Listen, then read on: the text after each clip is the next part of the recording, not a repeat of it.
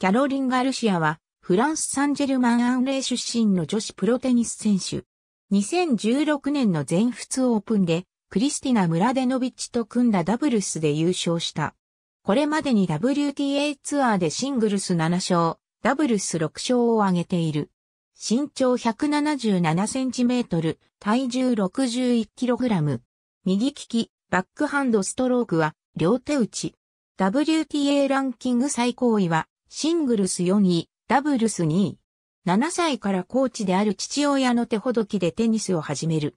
四大大会では2011年全豪オープンで主催者推薦により初出場し、2回戦で森田歩みに4から6、4から6で敗れた。2011年全仏オープンでは2回戦で第7、シードのマリア・シャラポワに6から3、4から6、0から6で敗れたが第1セットを奪う健闘を見せた。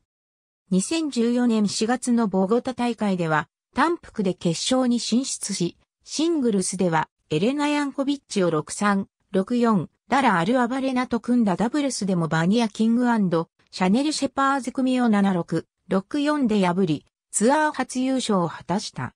2014年ウィンブルドン選手権では1回戦で、第14シードのサラ・エラニオ2から6、7から6、7から5で破り3回戦まで進出した。2015年は全豪オープンで3回戦まで進出した。2016年全仏オープンではクリスティナ・ムラデノビッチと組んだダブルスで決勝に進出した。決勝ではエカテリーナ・マカロワエレーナ・ベスニナ組を6-3、2-6、6-4で破り、ツアー初の4大大会タイトルを獲得した。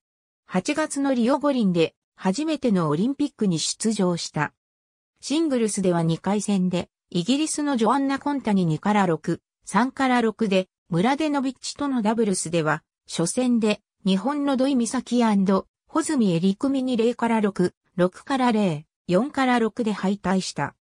全米オープンでは、ダブルス決勝で、ベサニー・マテックサンズルーシー・サファロバ組に6-2、6-7、4-6で敗れ準優勝となった。2017年は全仏オープンでは第28シードから4大大会初のシングルスベスト8に進出した。準々決勝ではカロリナ・プリスコバに6から7、4から6で敗れた。ウィンブルドンでは4回戦に進出した。終盤の武漢オープン、チャイナオープンで2週連続優勝を記録。10月9日付のランキングで9位となり、トップ10入りを果たし、レースランキングでも8位に浮上する。その後、WTA ファイナルズの出場権を争っていたジョアンナ・コンタが逆転する可能性がなくなったため、シングルスでの WTA ファイナルズ初出場が決まった。ラウンドロビンを2勝1敗で準決勝に進出し、ビーナス・ウィリアムズに7から6、2から6、3から6で敗れた。2018年は4大大会では、全豪オープン、全仏オープンで4回戦に進出。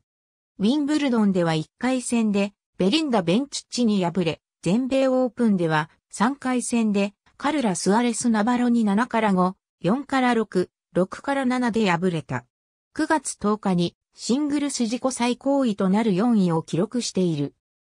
W イコール優勝、F イコール準優勝、SF イコールベスト4、QF イコールベスト8、R イコール回戦敗退、RR イコールラウン敗退、Q イコール予選回戦敗退、LQ イコール予選敗退、A イコール大会不参加、P イコール開催延期 WG イコールデビス、Z イコールデビス地域ゾーン、PO イコールデビス、G イコールオリンピック金メダル、S イコールオリンピック銀メダル、SF、B イコールオリンピック銅メダル、NMS イコールマスターズシリーズから降格、NH イコール開催なし。ありがとうございます。